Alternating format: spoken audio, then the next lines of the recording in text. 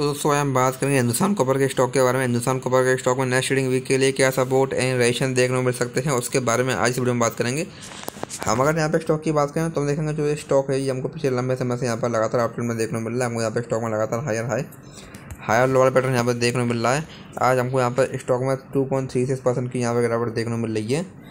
यहाँ से हम स्टॉक में बात करें तो यहाँ से अब स्टॉक में हमारे पास, अगर स्टॉक में और गिरावट आती है तो और और गिरावट कंडीशन में हमारे पास स्टॉक में।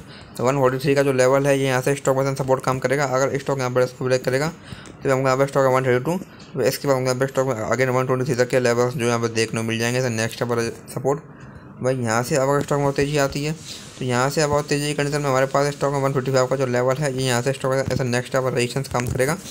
अगर स्टॉक यहाँ पर इसको ब्रेक करेगा तो हमको यहाँ पर स्टॉक है वन सेवेंटी इसके बाद हमको यहाँ पे स्टॉक में वन एट्टी फाइव और अगर स्टॉक यहाँ पर इसको ब्रेक करेगा तो हमको यहाँ पर स्टॉक में टू हंड्रेड इसके और इसके बाद हमको स्टॉक में टू इसके ऊपर तक के लेवल्स में यहाँ पर देखने मिल सकते हैं, ऐसा नेक्स्ट लेवल रजिस्टेंस तो ये स्टॉक में कुछ important support and resistance level हैं, आप इन पर ध्यान दे सकते हैं। बाकी वीडियो में कोई बाई सेल होल्डिंग की सलाह नहीं है। वीडियो केवल एजुकेशन पर्पज़ के लिए धन्यवाद।